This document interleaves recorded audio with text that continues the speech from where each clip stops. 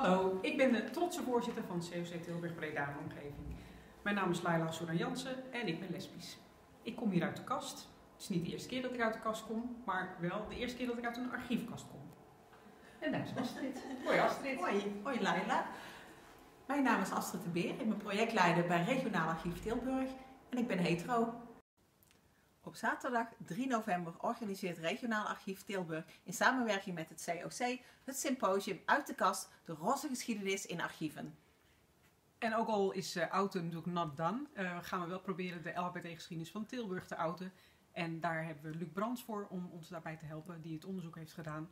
Dus het wordt een hele interessante middag en iedereen is van harte welkom. Jazeker. Um, wil je erbij zijn? Stuur een mailtje naar info.regionaalarchieftilburg.nl onder vermelding van Uit de Kast. En we zien jullie heel graag dan. Dag! Tot dan!